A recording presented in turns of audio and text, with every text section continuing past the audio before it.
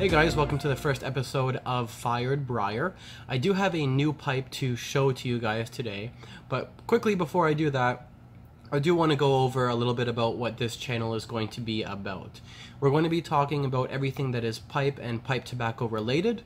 We'll be doing some reviews, uh, some box openings, and we'll throw in some uh, cigar stuff in there as well. What I really want is for you guys to let me know in the comments below what it is that you want to see. If you want me to review a particular blend or talk about some of the news in the pipe tobacco related fields, whatever you guys want to see is the content I want to deliver to you. So make sure you let me know and I'll do my best to get that content out to you guys. So without further delay, let's get on to showing you guys that new pipe that I've got here.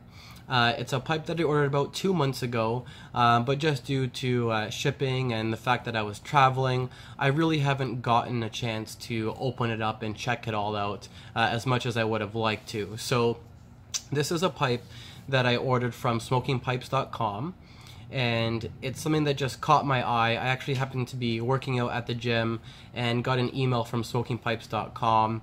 I quickly opened up that email there. I saw the pipe and I just absolutely had to have it, so I made the purchase.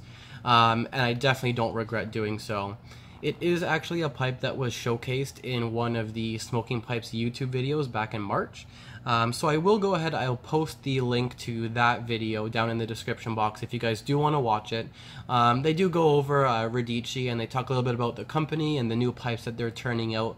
And this pipe is featured there with a few photos. Um, I think Shane Ireland goes over it really well. So I will post that so you guys can see. So this is the pipe. It is a Radice sandblasted Morta billiard just spin this for you here so you can kind of get an overall feel for what the pipe is like. Um, hopefully the focus is not too bad for you there. I will show it in more detail a little bit closer up, but just so you get the full overall picture of, of the pipe itself and what it looks like.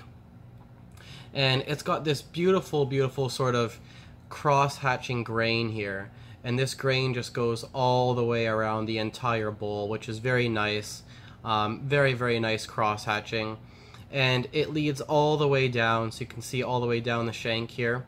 And Radice's done a couple things that are very nice. They've got this nice sort of uh, pastel, toned down these muted colors of green and red and orange. Um, a nice feel, a nice touch. It sort of matches these two dot that they've got here on the stem also. Um, the orange and the orange. So just very beautiful. Well done there. Uh, the other thing about this pipe that's quite nice is on the top, they're not reinventing the wheel with the rim. Uh, they basically just went ahead and said, you know what, we're going to leave this as straight grain. Um, and I really love that. It just ties into, you know, how bold and masculine the pipe is overall.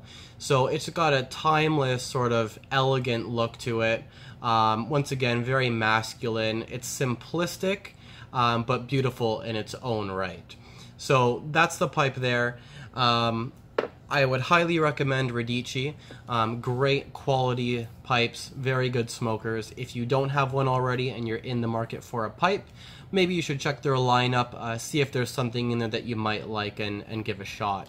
Um, I do have some packages coming in the mail, so I think this is going to conclude the first episode of Fired Briar. I will get to those packages uh, in another video, so there is a pipe coming as well as some tins of tobacco. With that being said, we will have a pipe unboxing. There may be a couple reviews in there. But I do want you guys to uh, sincerely let me know what sort of content you want to see on the channel, and I will do my best to deliver that to you.